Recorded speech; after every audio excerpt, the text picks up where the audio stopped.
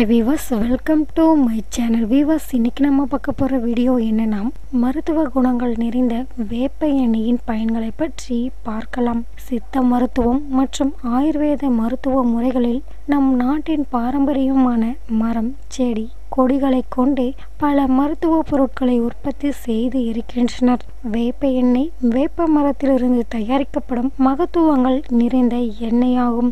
வேப்ப எண்ணெயில் anti accident மற்றும் கரோட்டினாய்டு சத்துக்கள் அதிகம் இருக்கின்றன. வேப்பம் எண்ணெயை வாரத்திற்கு ஒருமுறை தோலில் நன்கு தடவிய பின்பு குளித்து வந்தால் தோலில் சுருக்கங்கள் ஏற்படுவதை தடுத்து இளமை தோற்றத்தை அதிகரிக்கும். காயங்கள் தழும்புகள் உடலில் அடிபடும் போது இரத்த காயங்கள் ஏற்படுகின்றன. இந்த இரத்த காயங்களை சீக்கிரத்தில் ஆற்றும் தன்மை வேப்ப எண்ணெய் கொண்டுள்ளது. காயங்களில் கிருமி தொற்று ஏற்படுவதையும் தடுத்து காயங்களை சீக்கிரம் மாற்றுகிறது. பாத நோய்கள் மழைக்காலங்களில் சேற்றில் இருக்கும் கிருமிகளின் தொற்று சிலருக்கு ஏற்படுவதால் சேற்று புண்கள் ஏற்படுகின்றன. ஷூ காலணிகள் அதிகம் உபயோகிப்பவர்கள். பாதங்களில் கிருமி தொற்று ஏற்பட்டு பலர் தாமரை போன்றவை ஏற்படுகின்றன.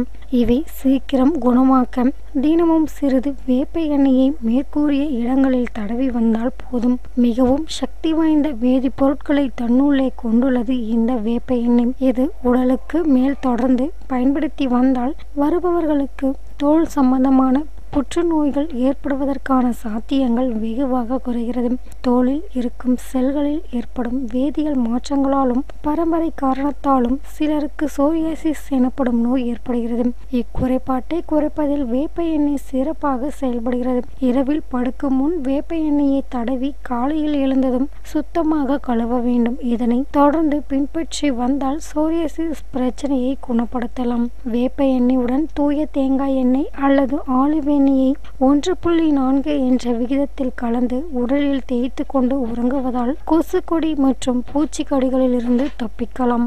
சைனஸ் தொல்லை நீங்க தினமும் காலை மாலை இரு வேளைகளிலும் வேப்ப எண்ணெயின் துளிகளை மூக்கில் இட்டு வர சைனஸ் தொல்லை விலகும். வியூவர்ஸ் இந்த வீடியோ உங்களுக்கு பிடிச்சிருந்தா லைக் பண்ணுங்கள் ஷேர் பண்ணுங்கள் கமெண்ட் பண்ணுங்கள் மேலும் இது போன்ற இன்ட்ரெஸ்டிங் வீடியோ பார்க்க எங்கள் சேனலை சப்ஸ்கிரைப் பண்ணுங்கள் கூடவே இருக்க பெல் சிம்மில் கிளிக் பண்ணுங்கள் அப்போ தான் நான் போகிற வீடியோ உங்களுக்கு நோட்டிஃபிகேஷனாக வந்து சேரும். தேங்க்யூ